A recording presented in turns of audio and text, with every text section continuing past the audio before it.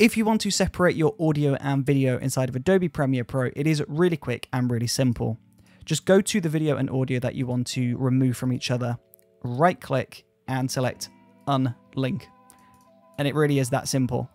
Now you can move your video around without affecting the audio, or you can move the audio around without affecting the video. But let's say you had unlinked video and audio and you want to link these together. Well, all you would do is select everything, right click and select link and that's going to relink these back together. This is really handy when you record audio on a separate audio device and you want to remove the camera audio.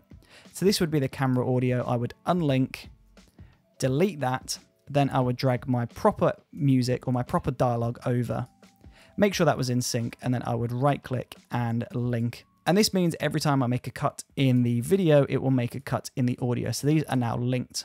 Very handy.